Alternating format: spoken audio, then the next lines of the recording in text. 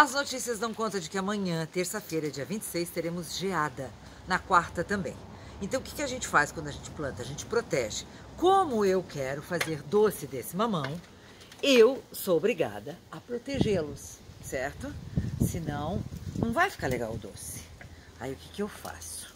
Eu venho com esse pano, venho com grampos de roupa aqui e vou tentar proteger o máximo que eu puder, quantos mamões eu conseguir.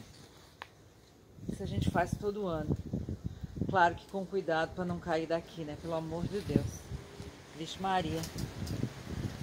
E nem que esse pé de mamão quebre comigo aqui. Aí aqui eu coloco um grampo de, de, de roupa, né? Aqui, não, vou colocar mais um. Não, você não tá parando, é? Ah, ah.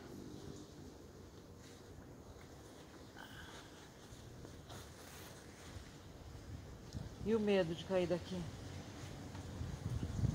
E a minha escada, na verdade, ela precisava ser maior, né? Mais alta, quero dizer. Tem um outro pé de mamão lá atrás.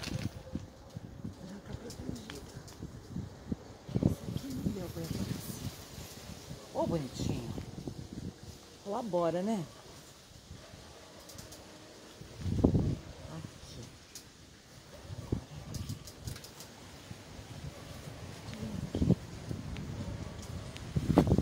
Dá super certo. Daí quando é amanhecer, a gente vem aqui, tira,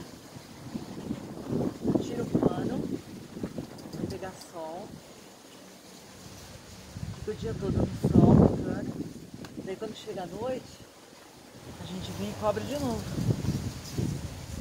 Mas vale a pena, viu? Porque depois a gente vem e colhe os mamões. E faz um doce delicioso. Bora plantar e cuidar?